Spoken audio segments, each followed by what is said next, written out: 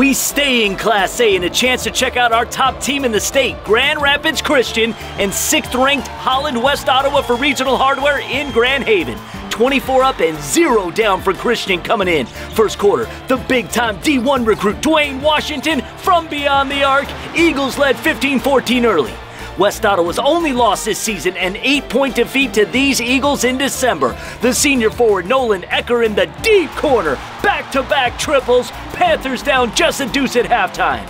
Christian came out in the second half and didn't just set the tone, they stamped it. The Oakland U commit, the 6'7 junior James Beck, booyah! 48 to 35 Eagles. Lead grew to 17, but West Ottawa mounted a furious comeback. Tyler Bosma and Jake Van Tubbergen scored every Panther point in the fourth. The Grand Valley signee Van Tubbergen counted and the contact. Then, at the line, off the mark, but a chance for redemption, that just tied the game at 54.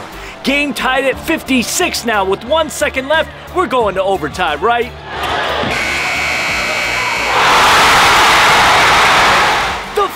Option, Thad Shemansky, big money. Grand Rapids Christian wins an absolute thriller, 59 to 56.